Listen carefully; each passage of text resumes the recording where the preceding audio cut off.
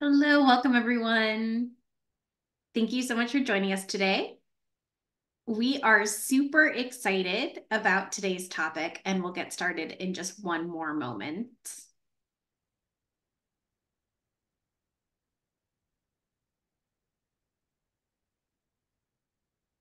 Hello, welcome everyone. Thank you so much for joining us today.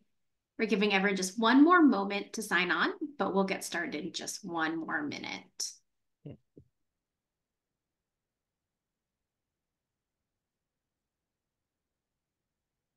Hello, welcome everyone. Thank you so much for joining us today.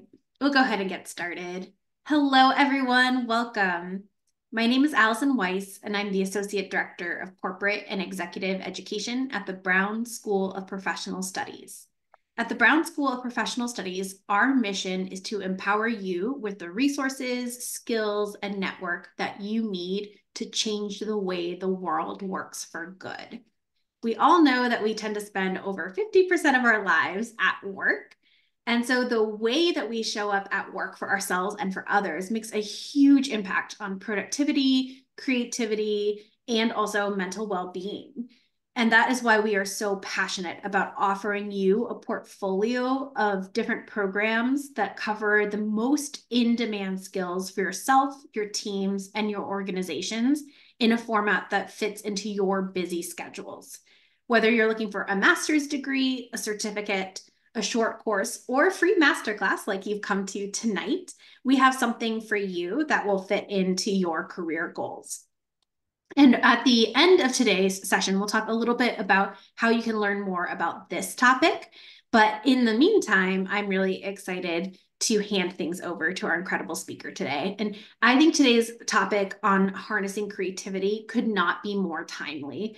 I think at the end of the year, with the holidays coming up, it can often be a time where we're feeling a little bit like we're burning the candle at both ends and we're feeling a little burnt out, a little exhausted and having the opportunity to take a step back, have this bird's eye view of thinking about what it would look like to end the year on a really high note can be such an incredible way to set ourselves and our teams up for success ending this year and starting the next year.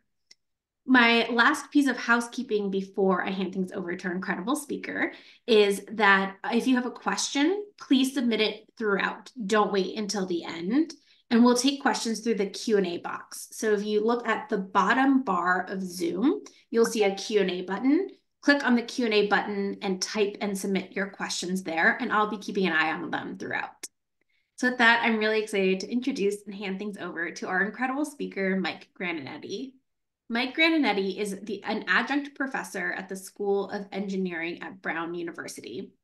He's a veteran Silicon Valley engineer and McKinsey consultant in the past, and he was the chief of operations for eight different startups. So for him, when he's teaching these types of skills like innovation, creativity, he has um, a segment on ChatGPT.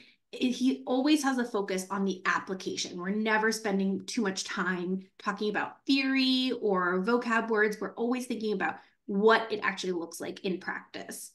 And on top of it, he's also an incredible and experienced teacher. He has affiliations with MIT, Harvard, Berkeley, and Brown, just to name a few, and has gotten a ton of positive feedback on his courses throughout.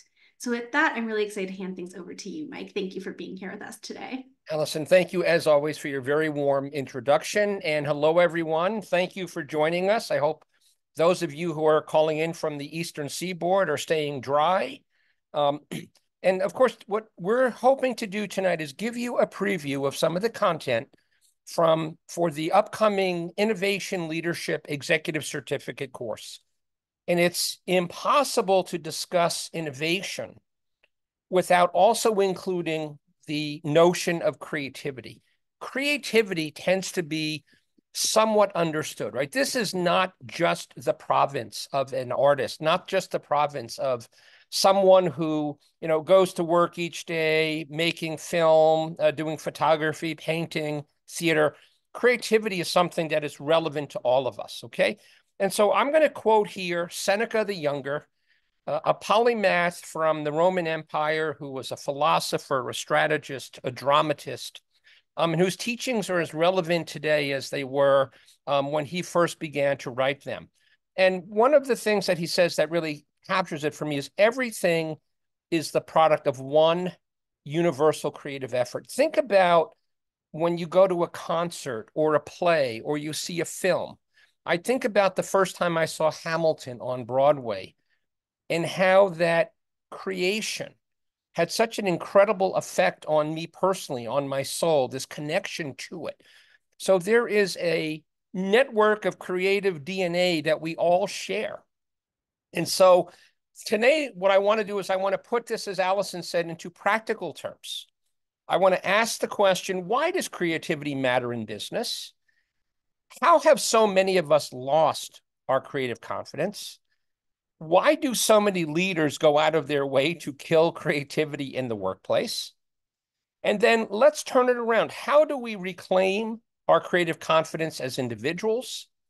How do we exercise creativity in teams and at scale? And of course, I would be remiss in the age of generative AI to not discuss how we are entering a new age of human creativity brought to us by generative AI. So I don't think it, it's a surprise to any of you, right? The the world that we are living in is chaotic on a good day. You may know the acronym VUCA, volatile, uncertain, complex, ambiguous, and moving at warp speed. And so the challenge for companies is to remain innovative, to remain relevant over time. And yet very few companies are able to stay on this golden trajectory, this regenerative trajectory where they're able to reinvent themselves constantly across product life cycles, across economic cycles, across generations. The vast majority of companies are those that are on a degenerative trajectory, one hit wonders, companies that don't have the will to disrupt themselves. And so, of course, all of us want to be working for or leading companies that make the world's most innovative company list. And so, why would we want to do that? Well, very simply, the companies that are the most innovative are always the most successful. Just a couple of days ago, the Wall Street Journal introduced their most recent top 250 managed American companies. Um, and as you look at some of the, the data, not surprisingly, the companies that are the most successful dramatically outrank their peer group on innovation, including job postings for cutting edge occupations. And they also outrank them on employee engagement and employee development overall. And this, of course, leads to that virtuous cycle of customers are very, very happy, right? So it's a very positive reinforcing cycle. What I want people to understand is creativity is not separate from innovation. It is an absolutely critical input to innovation. So imagine that creativity is the input and societal change is the output. Now, let me quote Sir Ken Robinson. We're going to hear from him in a, in a minute yet again. But his message is innovation is applied creativity. And by definition, innovation is always about introdu introducing something new or improved. And let's go to a couple of examples of new and improved. Let's go back to 1983 and let's think about an incredible breakthrough in the personal computing um, cycle when Steve Jobs was just launching Apple Computer and he saw the way that the Microsoft at the time operating system and other uh, personal computers were incredibly challenging to use, right? It was all about command line programming. And he had a very famous moment of epiphany when he took a tour at the Xerox Palo Alto Research Center in California and saw something called the graphical user interface. And so he, in that moment, said, I have seen the future of computing. It's not about command line programming, it's about imagery. And this is the, the screen, the graphical user interface of the famous Lisa computer that was introduced in 1983 and really was the predecessor to the Macintosh and even to the iPhone that we see today. Okay. He just completely imagined a new paradigm and it changed the world. And then if we fast forward to the launch of the original iPhone, you had Jobs on stage in 2007 and saying, if we look at the existing smartphones, they're really not that smart and they're not that easy to use. And once again, Jobs was able to imagine a completely new, completely different approach to what a smartphone might be. And two and a half billion iPhones later, a multi trillion dollar market cap later, we have seen two poetic examples of what it means to reimagine the world. But it doesn't stop at the idea. Jobs was relentless working with his teams to make sure that these ideas found their way into the marketplace and started to make dramatic changes in the way that we work and the way that we live. And I don't think it's an exaggeration to say the iPhone, more than any other product, created this digital world that we all live in today. And so creativity feeds innovation, which is the implementation phase of success. IBM goes out every year and they survey 5,000 CEOs. What are the most important leadership qualities that you would expect to have? Creativity comes in at number one. Why? Because creative leaders are willing to make more changes to business models, which we know we have to do on a regular basis in this dynamic environment. They're willing to cannibalize themselves and invite disruptive innovation. They're comfortable with ambiguity. And like the Wall Street Journal um, ranking I just shared with you, they tend to score much, much higher on the innovation league table, which means they're going to be more successful companies. So why do we then lose creative confidence? And so let's go back to Ken Robinson. What's amazing is that Sir Ken Robinson gave a TED talk in January of 2007. That is almost 17 years ago. And this TED Talk remains 17 years later as the single most viewed, viewed YouTube video in history. And the title of the TED Talk is Why Schools Need to Embrace Kids' Creativity. And one of the important quotes in it was creativity is as important as literacy. And I think many of us know what it's like when you're in a traditional school environment where there's a strong amount of pressure to not question and to conform.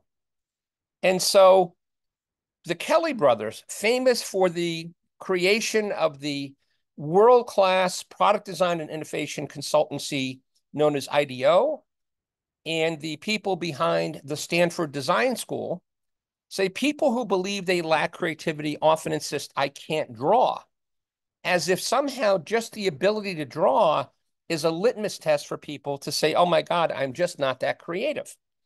And I can tell you from experience as a professor who teaches in a lot of executive ed, has spent a lot of time in Silicon Valley, has worked with a lot of people that work in the world of innovation.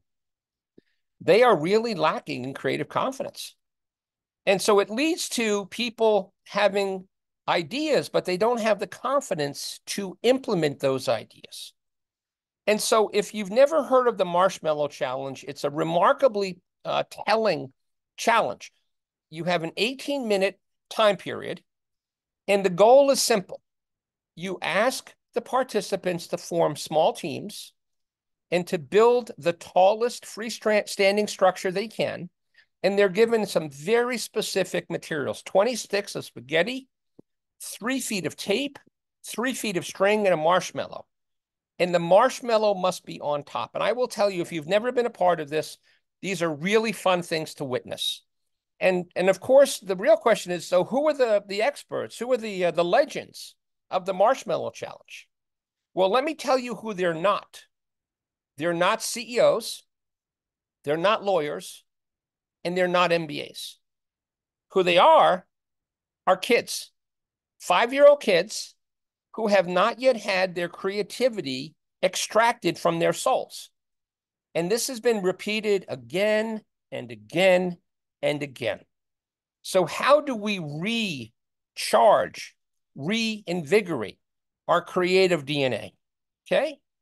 Now, unfortunately, we go into the workplace and it's just as bad.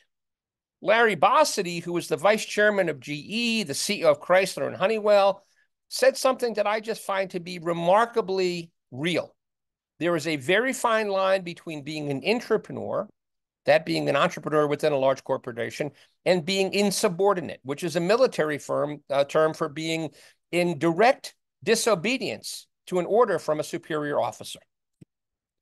And we, of course, see, we all know the guy in the center, the boss, who says, Does anyone have a suggestion that isn't ridiculous? An incredibly unsafe environment for people, an unsupportive environment for people. And then we've got, in this instance, the chief marketing officer says that we want to do something so innovative that no brand has ever done anything like it. And when the people have worked very hard to come up with creative ideas, his lack of courage shows, which sends them into um, back to the drawing board, but with a lot less energy and enthusiasm they had the first time around, right? And so as a result of that, companies more often than not do innovation not as an authentic exercise, but as theater. They check boxes, but there's no real heart in it. And so, what I've seen over time is that men and women in a lot of large corporate environments lead lives of quiet desperation. They want to create, they very hungrily want to do something unique. But organizationally, they're not given the opportunity to do that. Okay. This is a very recent study from McKinsey that really bears this out. Workers, and this is literally about two months old now, right? Workers can be grouped into six archetypes along the satisfaction spectrum.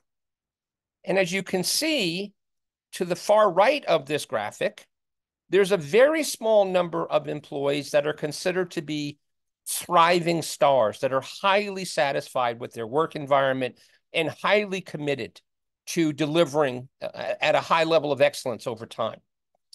And so what we've got now is about 40% that are on that satisfied world, but we have another 60%, including 30% that are just mildly disengaged, right? They're here, but they're not really fully bought in. And then you've got another 20% that are very much negative. And you've got an albatross that you're pulling behind the company, right? We have enough competitive challenges in the marketplace, enough competitive challenges with this economy that we're living through. And yet we're also dragging over half of our employees up the hill whenever we're trying to do something innovative. So, how do we now change this equation? How do we reclaim our creative confidence? Okay. And so there's a number of things that I can share, right? I taught a course last summer at Harvard, 15 week um, full semester course called Creativity Innovation. And at the beginning of the course, I had students write an essay as to why they wanted to take the course. And I was just blown away how many of them, even people working in Hollywood and creative industries, were lacking in creative confidence. And over the 15 weeks, we went through a series of exercises, we went through a capstone project, and we had an immersive weekend experience in Harvard Square. And we actually replicated the um, the Marshmallow Challenge, although we used Legos, and we use serious games like Lego Serious Play. And by the end of the semester, people had reframed their mindsets. The, the exit reflections indicated a very significant shift in their own personal creative confidence. Okay. So, both on an individual level and at an organizational level, if we want to avoid innovation theater, if we want to avoid having over half of our workforce being checked out, then we have to collectively reframe our mindset. Okay. The first thing we need to do is we need to look at each of our team members as individuals. And we need to know, we need to understand what makes their hearts beat faster. There was an incredible study by Harvard professor Teresa Amabile when she she asked um, artists to submit 20 of their creations, uh, 10 of which were on spec and 10 of which came from their hearts. uh, and they were blindly submitted to a panel of experts who could then objectively identify which of their work was more creative. And I don't think it would come as a surprise to say the work that came from their hearts, not the work that came from a brief or a client requirement or a spec, was most creative, right? So we've got to give the we've got to know the people that work for us. We've got to know what's important to them. We've got to know what they'd love to do, and then we've got to give them the space to contribute fully from that place. Okay. There's such an incredible bias towards sitting in windowless conference rooms and having groupthink, right? Coming up with PowerPoint after PowerPoint after PowerPoint to say, this is what we need to do. And this is why 90% of all products fail when they hit the market, because we're living outside of the real world. We're not working with our stakeholders. So my mantra is don't decide, design. And what that means is introduce human-centric design or design thinking. These are the skills that um, were first brought to the market by the Kelley brothers at IDEO. One of their very first clients, no surprise, was Steve Jobs and Apple. And they really set the pace for using human centric design to come up with unique ideas, right? To not in any way, shape, or form look at something the way everyone else is, right? Just first principles thinking. And there was a very, very famous segment on Nightline, the news magazine Nightline in 1999, where for the first time we saw a window into the way that IDEO works and the way that they redesign something as basic as the kind of shopping cart that you would bring into a grocery store or a big box store. Okay. So this has gained a lot of currency. Um, and it's an operating system or a mindset that is very, very powerful if it is embraced with authenticity. Okay. The second thing is that we want leaders who understand that it's not about people having a 100% level of confidence that their answer is correct. This is Scott Cook, I think one of the most underrated executives in the history of Silicon Valley, who would say, We're no longer asking for your analysis to the 18th decimal point of accuracy. We're asking you, what is the fastest way to experiment and test that idea in the marketplace with real potential users? Okay. And so, of course, an experiment means that something could turn out to be a positive or a negative outcome. But we need to recognize that there is no creativity, there is no innovation without failure. And yet we have to reframe our relationship with failure. Failure is not failing, failure is learning. And organizations that have been able to embrace this mindset culturally are so far ahead of the pack when it comes to their ability to be effective innovators. Okay failure, celebrating failure, not celebrating, you know, the kind of failure that is based on just making a lot of mistakes, but celebrating failure because people were willing to take the risk to try something new in the marketplace is a very, very powerful modality. Okay. So the mindset should be what if, why not, let's go. And I know that as I, with many of my international students, who have come to the United States, right? They will say to me, you know, when I'm sitting in the United States with venture capitalists or or investors, right? They're looking at the 20 ways that I can make this work. When I'm working with in VCs in my home country, um, they're looking at the 20 ways why this is going to fail. So it's a glass is half full versus glasses half empty mindset. And, and it's pretty clear what we need to do to be effective innovators, right? So Linda Hill, a professor at Harvard Business School, asked the question if a problem calls for a truly original response, no one can know in advance what that response should be. Therefore, by definition, leading innovation is not about selling a vision to people who are then inspired to follow us. It is very different. It is about getting people to co create the future with you. And you never know where that breakthrough idea is going to come from. In all of my startups, I have hired hundreds of my students people that were in many cases half of my age. And often they came in from, you know, to my companies without any industry experience. And yet it's amazing how often their ideas turned out to be really powerful ideas that we invested in. So give everyone the opportunity to create with you. Okay. So now how do we get creativity to go together in teams? Okay. This is a quote from David Kelley. Creative people are often portrayed as lone geniuses or rugged individuals. Think about Jeff Bezos, think about Steve Jobs. But that's not the case. We have found that our best ideas result from collaborating with other people. From a makeathon or a hackathon or design sprint to multidisciplinary teams, creativity is a team sport. Okay. Stewart Butterfield, who was the founder of Slack, which was sold to Salesforce.com for the tidy sum of $17 billion. Collaboration is the opposite of a meek, deferential, submissive approach. It is leadership from everywhere. So, how can you be a great leader and a great follower? And how do you know when to take on both of those roles? And individually be responsible for the health and performance of your teams. Okay. So the only way that's going to happen is if we engage employees. So let's remember that McKinsey chart of earlier. This was another finding within that study that said we're dragging half of our people uphill.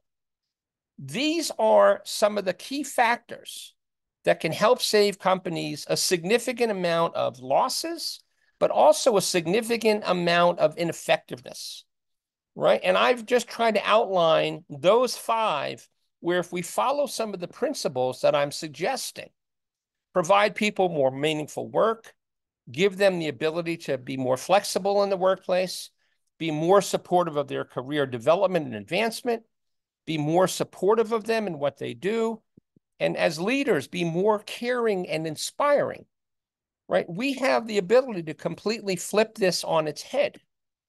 And so Brad Smith, the CEO of Intuit, who, and I quoted David um, uh, Scott Cook earlier, um, this is not lip service. Our mission, our values, and our culture of innovation sets us apart as a great place to work. Our 8,000 employees are innovators and entrepreneurs. Now, often you hear companies using terminology like this, and it's basically just whitewashing. This is absolutely authentic the way that Scott and Brad and others have run the company is they are not the bosses. They are the chief mentors, working with incredibly flat, small teams, cross disciplinary teams that are given remarkable amounts of freedom to go out and find problems that are critical to their customers, ideate on solutions, come back to the leadership for coaching and mentorship and go out and solve these problems on their own, right? This is as entrepreneurial a culture you can imagine at scale. Okay. And so, first of all, to be innovative, you need a culture of people that are willing. And if only half the organization is willing, as McKinsey, McKinsey indicates, Houston, we've got a problem. So there's got to be a shared sense of purpose and community that comes from having shared values and shared rules of engagement. We also have to be able to create. There's got to be some level of creative agility, right? We've got multidisciplinary people working together.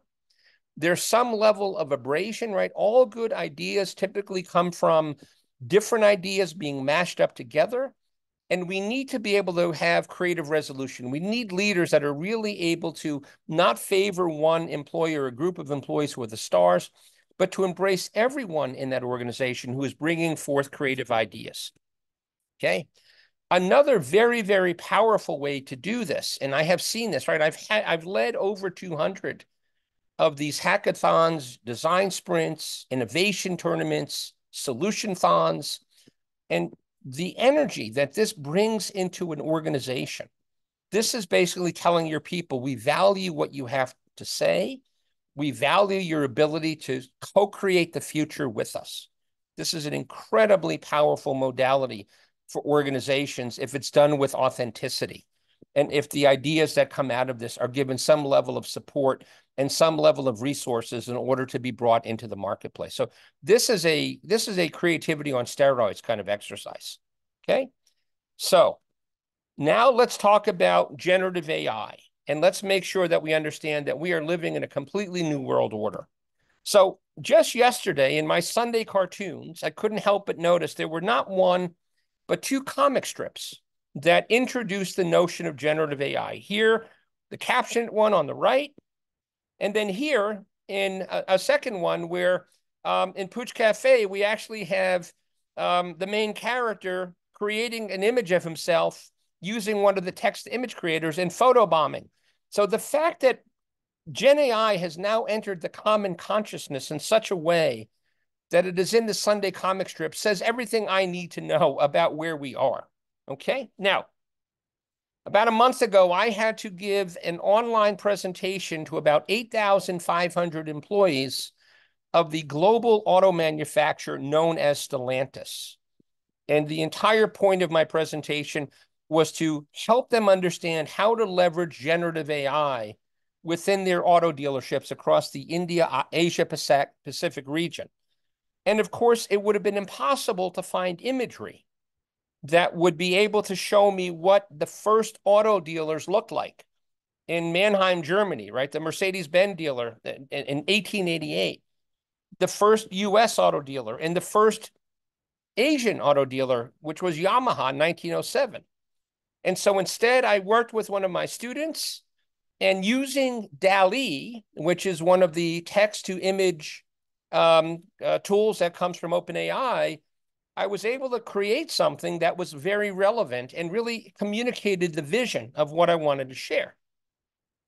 Last week, I wrapped up a marketing course at Harvard, and the students were challenged to use generative AI to identify ways that they could create unique advantage for a specific brand. And in this instance, one of the teams used DALL-E again to talk about how they were going to allow Cartier, who is now really losing ground to Tiffany in terms of the digitally savvy Gen Z generation. They were able to, using these AI tools, to create extraordinary imagery. All of this was generated by DALL-E. The website, a lot of customization. They were able to show what the in-store um, experience looked like. And they were able to also create what some in-store events might be like. All of this was done as part of a class, and all of this was generated with DALL-E, okay? So are we seeing an impact? Absolutely. Boston Consulting Group, 750 consultants were asked to move into two separate groups to do 18 different tasks, and a number of those tasks were creative tasks. Okay. And this was led by both Harvard Business School and Wharton. And what they identified is those BCG consultants using Gen AI on tasks, including creative tasks, finished those tasks 12.2% uh, more of the time, completed them more quickly, and they completed them with a far higher, 40% higher quality result than those without. But what's even more powerful is they were able to take the lower 50th percentile of their employee base and improve their scores by nearly 50%. So if we go back one more time to that McKinsey slide from that survey about dragging 50% of our employees up the hill, um, imagine the positive impact you can get if your people are now conversant in generative AI tools this remarkable level of upskilling that's happening. Okay. Now, let's talk about coming up with new ideas because you know creativity is all about new and creative ideas. And so we want to be able to be idea machines. But I know that in my career, I've seen so many people that struggle in coming up with new ideas. They just don't have that creative confidence. Well, I want to go back. So this gentleman, Neil Drossman, um, he just passed away. His obituary was in the New York Times yesterday. And people called him the idea machine. He was an ad writer and he was involved in dozens and dozens of award winning ad campaigns. And apparently, he just could not stop generating world class ideas, but he is unique. But now we have the ability to level ourselves up to a Neil Drossman level of creativity.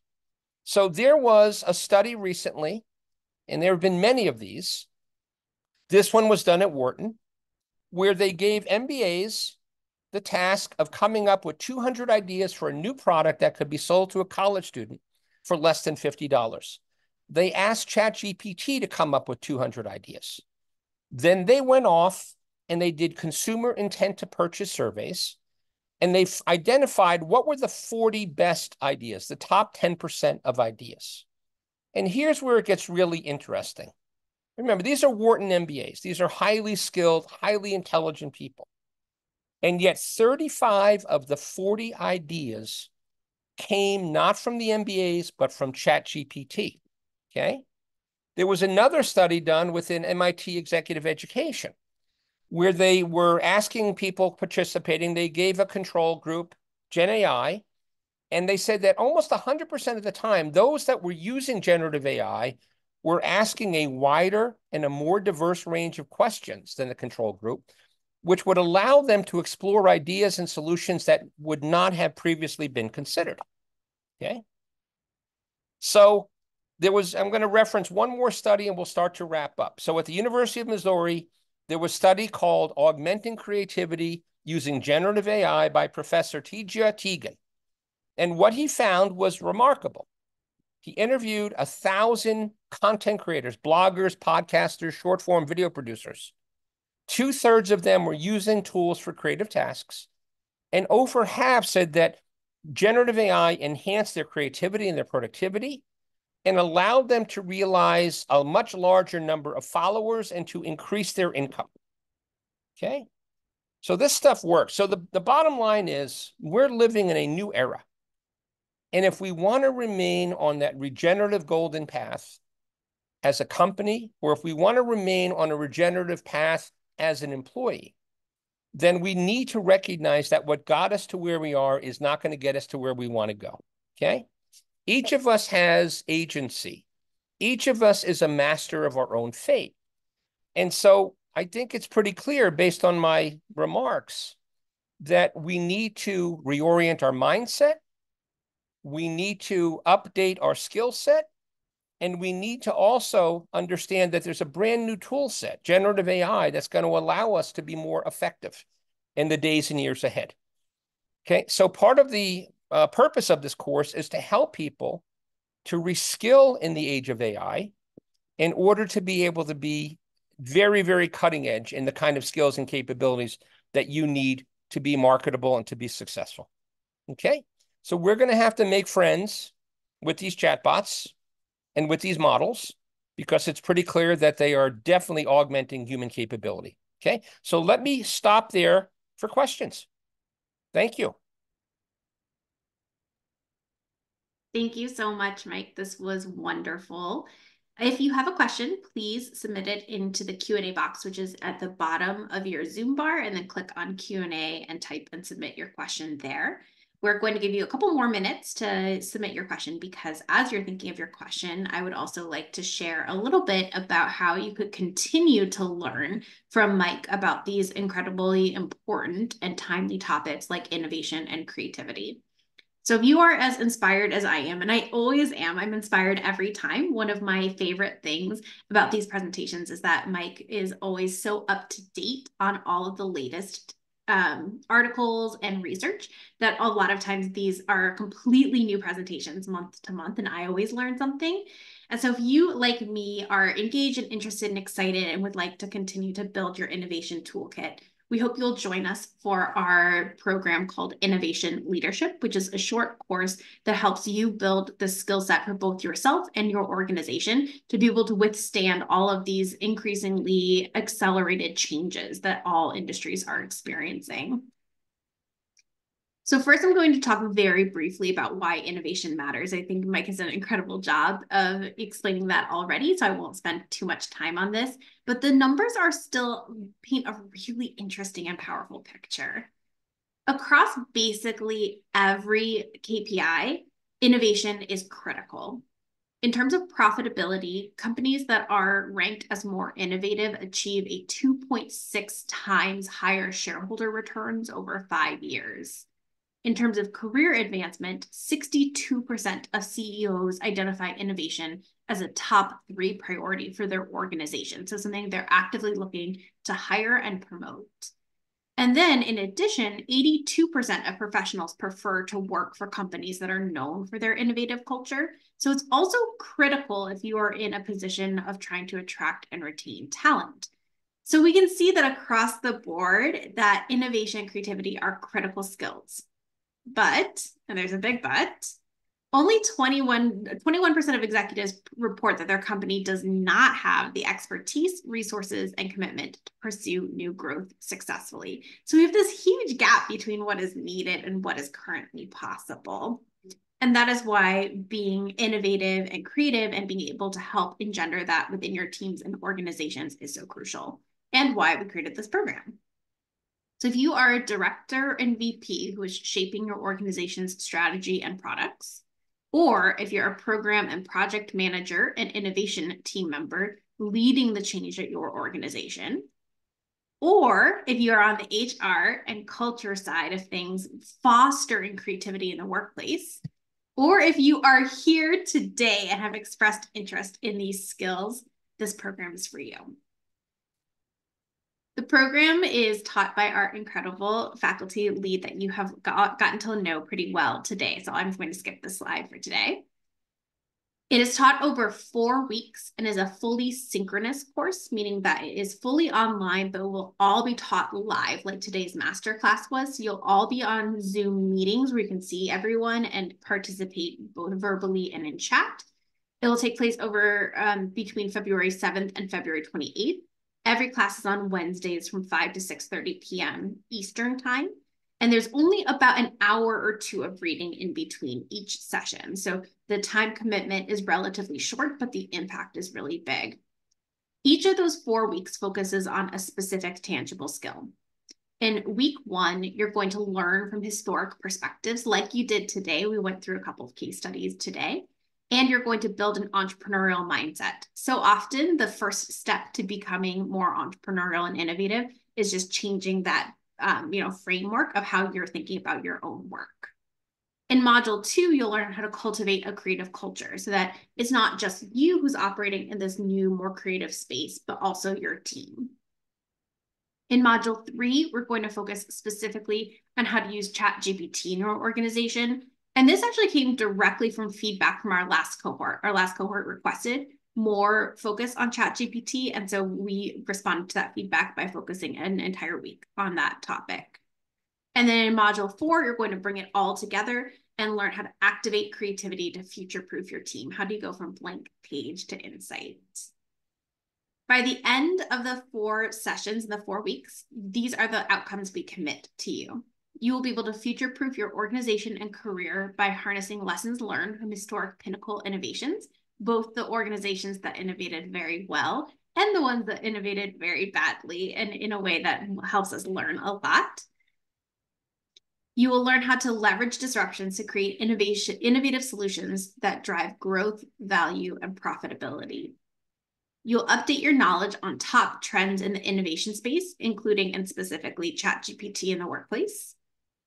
And you'll cultivate a culture of continuous improvement in your organization so that the learning doesn't stay with you, but is distributed throughout your organization.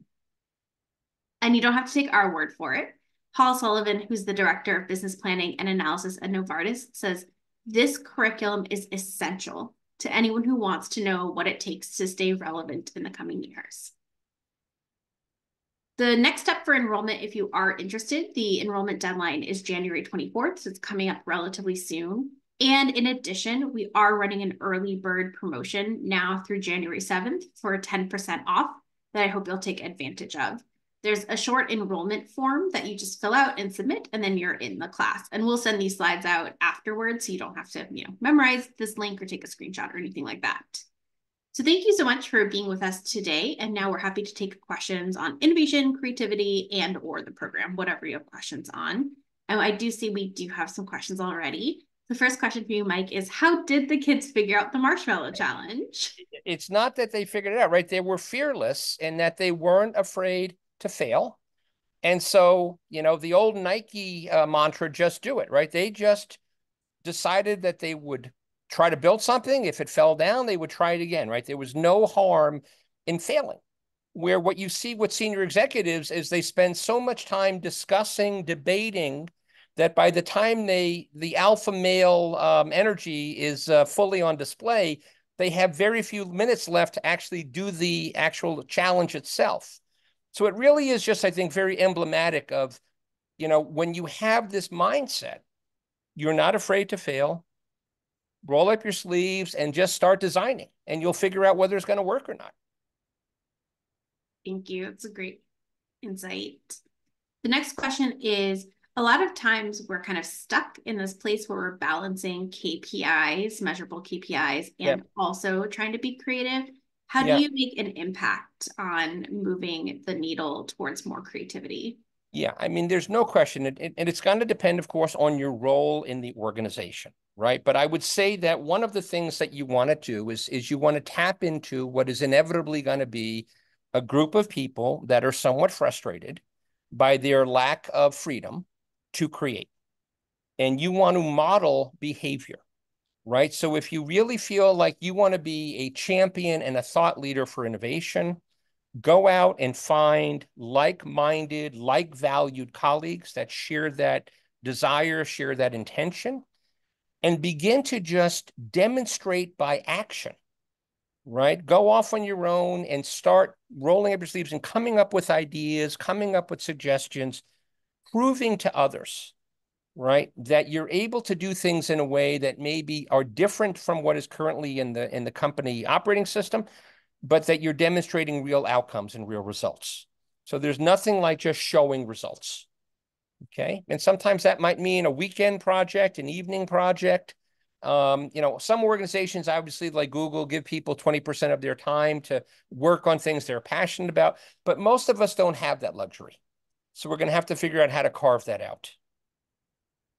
Thank you. I love that. And I love the idea of piloting something so that you can then prove the results. I think that's really powerful.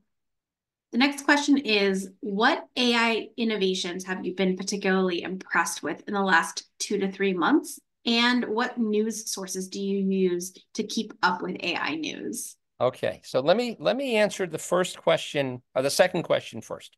Um, I will tell you that I'm probably listening to 15 AI related podcasts every week. So, to keep it simple for someone who's not living in this world, let me just suggest between McKinsey, Boston Consulting Group, and Accenture, all of them have great podcasts on innovation.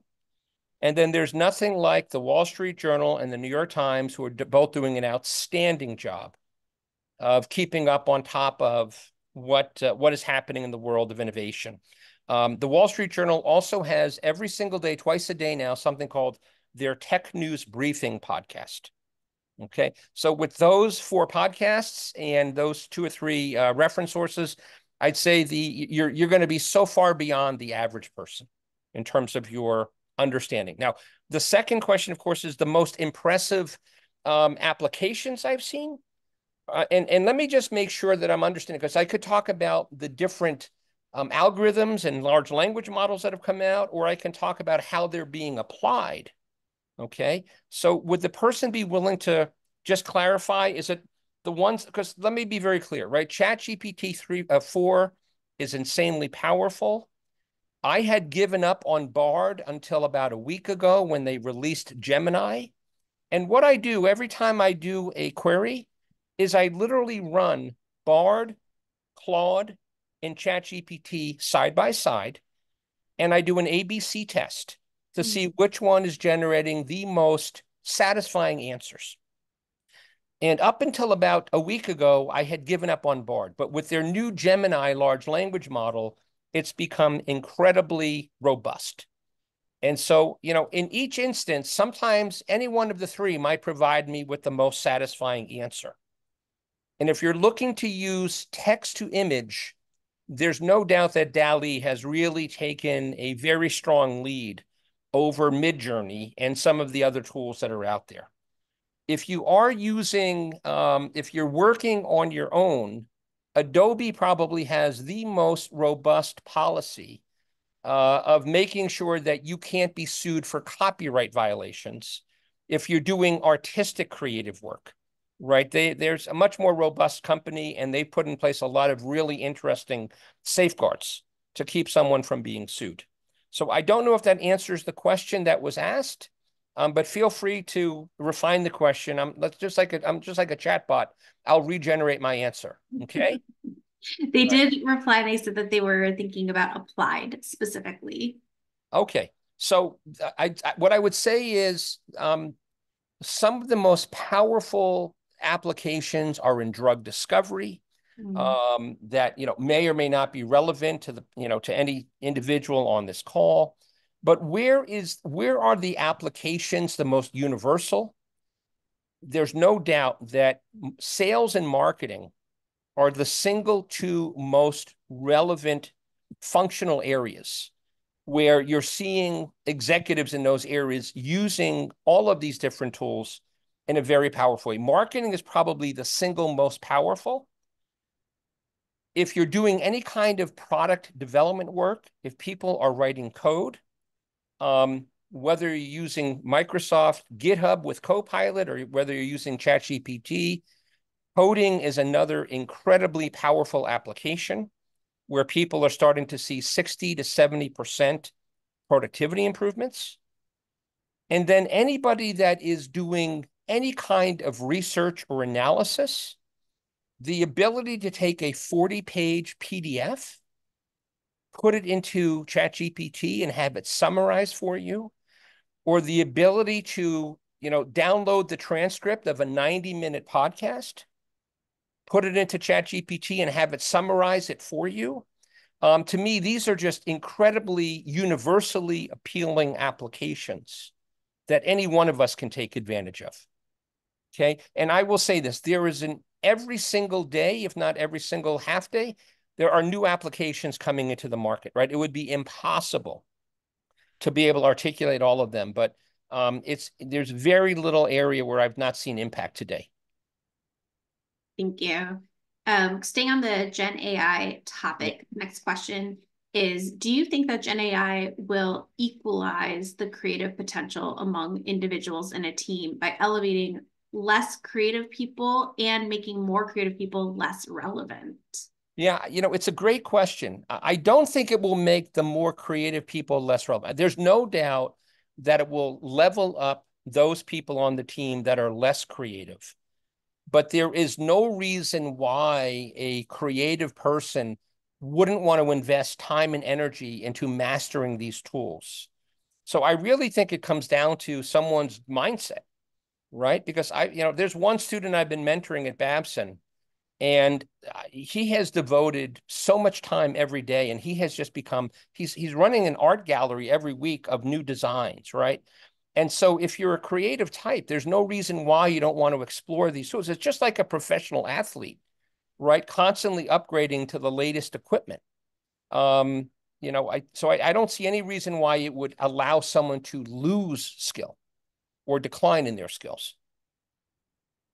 Yeah. the next question is how would you creatively let C suite know that going cheap and doing what has always been done can actually end up being expensive? How do how would I let them know? Obviously, that's a speaking truth to power discussion, but there is no substitute for presenting data, right? Is is to say, you know, we, you know, this is the old adage, you know, you've tried that 22 times and it's not worked once. How's that working for you? Right. Mm-hmm. So I would say that if you have the ability to speak truth to power, obviously you don't go in and make an emotional argument. You show with data that, you know, these are the invest the small investments we've made, and this has been the outcome. And and you know, today it's easier and easier to find relevant industry data. So how can you then compare your output, given the investment you've made, to your peers who are succeeding? And generate some return on investment calculations that should be pretty straightforward to make. Thank you. This is an amazing question. So I think this is the perfect one to end yeah. on. It's a two parter. Yeah. The first question is Is there a soft skill that you think is mandatory for entrepreneurs? And the second part is Is there one critical piece of advice that you would give to someone launching their own business? Okay, well, so so let me say this: the soft skill, I love it, and and if you want to be a founder, um, I would say, and and I could choose a few, but you asked for one: coachability. Okay, mm-hmm. one of the things that will turn off mentors and investors instantly is a young entrepreneur who feels that they know everything. And so if you are coachable, you will have the opportunity to, you know, earn the goodwill of the people, the, the stakeholders and the advocates around you. Okay. Now, the second question is if there's one piece of advice for starting a new company, the message would be you need to find something that you are genuinely passionate about. Entrepreneurship is not for the faint of heart. It is very hard, and you will ride the proverbial emotional roller coaster, whether you want to or not. And the only way that you're going to be willing to do that is if you have such an incredible sense of purpose and conviction because you feel like, you know, you are meant to do this. You are meant to solve this problem or bring this product to market. So there's got this can't in any way be about, I think I can make a lot of money. This is not an arbitrage play. This is a passion play. And that passion is what's going to fuel you through the inevitably challenging times that you're going to face. So that's my advice to you. Thank you so much. This has been absolutely incredible. Thank you for everyone who attended today, especially those of you who are on the East Coast and came during the evening. We're really grateful that you wanted to continue to learn and to build your skill set. Um, and thank you for the incredible questions that you all asked. These were really thoughtful and interesting questions. And thank you so much, Mike. I learn something from you absolutely every time. And I do always feel really energized and I feel ready to be more creative in my day to day life. And I think everyone here has also benefited from that resurgence of energy and the focus on really tangible strategies that we can take to infuse our workplaces with more creativity. So thank you so much. I'm so appreciative. I hope we get to see some of you in our virtual classroom in February. Thank you for taking time during the dinner hour, folks. And Allison, thank you as always for hosting me. Okay. Have a great night, mm-hmm. everyone. Take care. Bye, everyone. Bye now.